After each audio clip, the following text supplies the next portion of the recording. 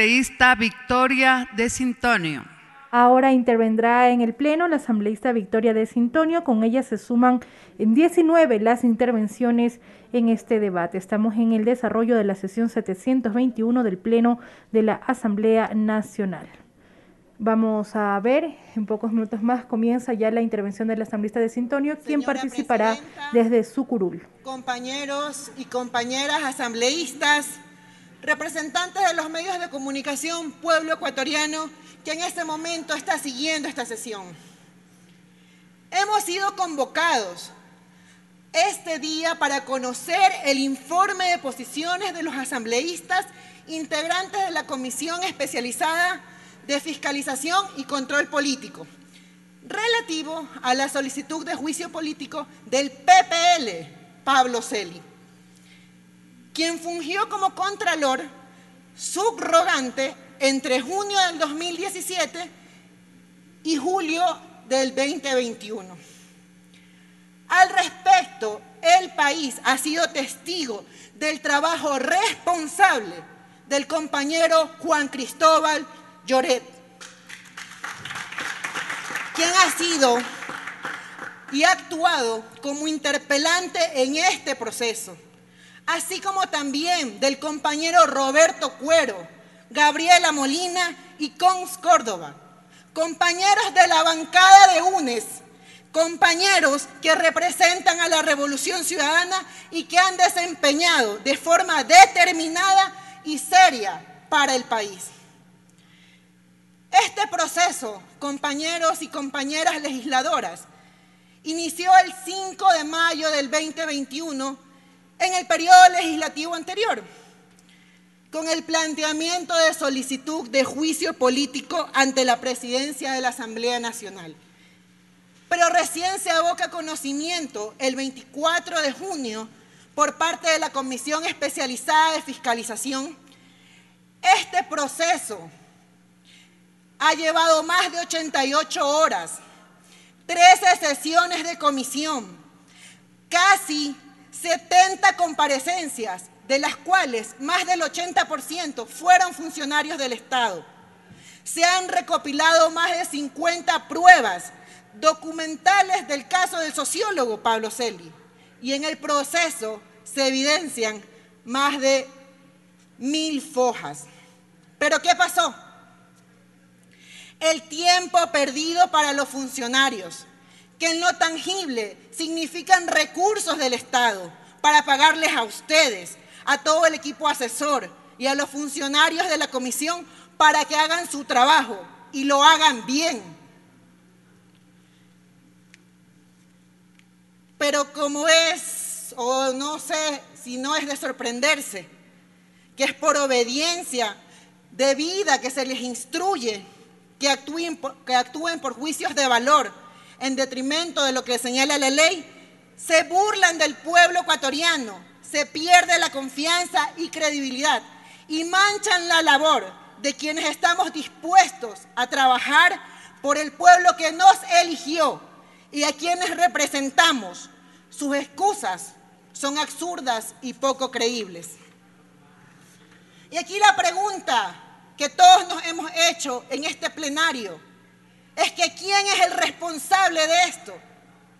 Y aquí solo hay una respuesta, señora presidenta es el presidente de la comisión más importante para ejercer la función de fiscalización en este recinto, que ha llegado justamente a esta asamblea por sus antecedentes de gran investigador, de periodista de investigación, de gran fiscalizador y sobre todo del superdenunciólogo de este país es el momento de realizar el trabajo y su comportamiento es totalmente negligente y actúa con dolo y selectividad en sus funciones constitucionales y legales. Sí, señor Villavicencio, le quedó grande el puesto, con altura y haciendo eco de sus dotes para comunicar, de un paso al costado, y permita que gente con capacidad, de la bancada que sea, haga el trabajo que usted no pudo hacer. No nos dejemos engañar, colegas legisladores, puesto que esto no es un error de novatos, sino que es parte de un juego en el que nos quieren inmiscuir al resto de los 136 asambleístas. ¿Puede el pueblo del Ecuador tragarse semejante mentira? Este pretexto de un personaje que según sus cartas de presentación, las que él mismo y sus alcahuetes dicen que se las sabe todas, es el gran, que es el gran investigador, investigador. Es vergonzoso para este país, para este país, dárselas de gran investigador para terminar echándole la culpa a la secretaria, que además usted contrató casualmente y oh sorpresa, quien compartió papeleta con usted en las últimas elecciones. Quedan muchas dudas, sobre todo por este error de secretaría o por este olvido quizás. Pero la desconfianza, la legalidad y la legitimidad de este proceso está entredicho. ¿Qué intereses se pretenden cubrir con esto? ¿O que el país en este momento va a seguir sufriendo otros cuatro años de lo mismo? De investigaciones selectivas, de una justicia selectiva y utilizar a la justicia y a esta Asamblea Nacional como un instrumento para satisfacer intereses y cubrir a los verdaderos corruptos. No, compañeros, no pueblo ecuatoriano. Ya basta de una dinámica perversa y dañina que tanto debilita la institucionalidad de este país. ¿Para quién encubre? ¿Quién encubre aquí a Pablo Celi? La comisión recabó elementos de convicción que existió un acto administrativo de cesación de funciones del PPL y quien se arrogó funciones hasta su renuncia, y hay que decirlo con todas sus letras, protegido por el Trujillato, que eso no se nos olvide. Otra causal es que los informes del señor Celi no establecen los indicios de responsabilidad penal contra la empresa de Brecht, lo cual imposibilita que se juzgue en la vía penal. Además, y no observó el procedimiento de control interno y de responsabilidad al contratar con la empresa HDC Producciones CA de Daniel Salcedo por un millón, por un monto de un millón ciento cincuenta mil dólares sin respetar los términos de referencia.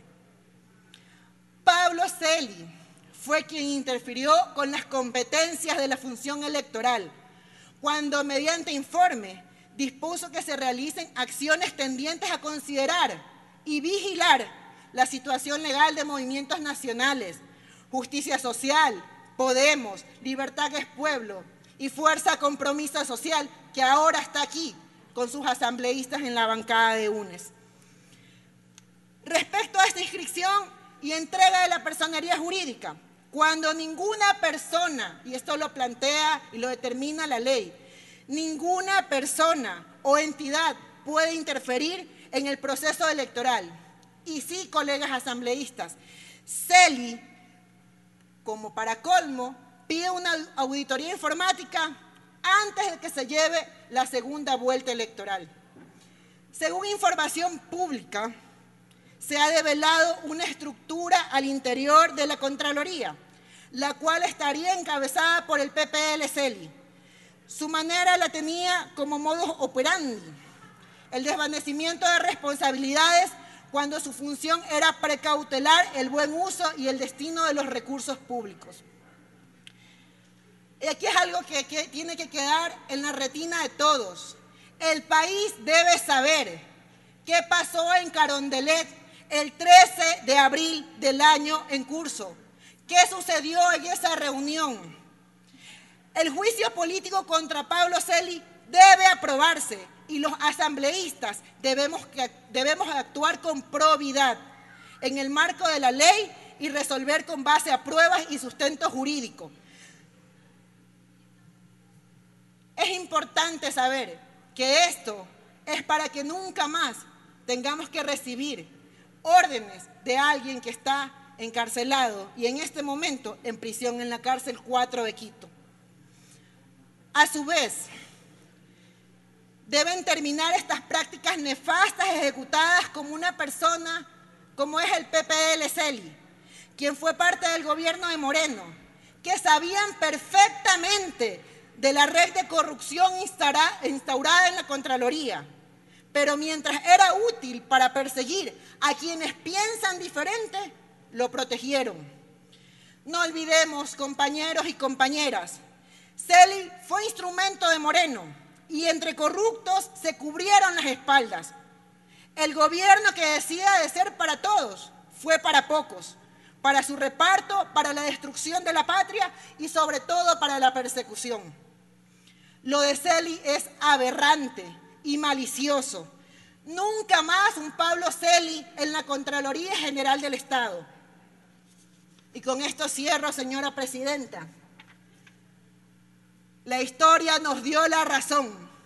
Y aquí estamos, firmes y con la frente en alto, para decirle al pueblo ecuatoriano que los corruptos siempre fueron ellos. Muchas gracias, señora presidenta.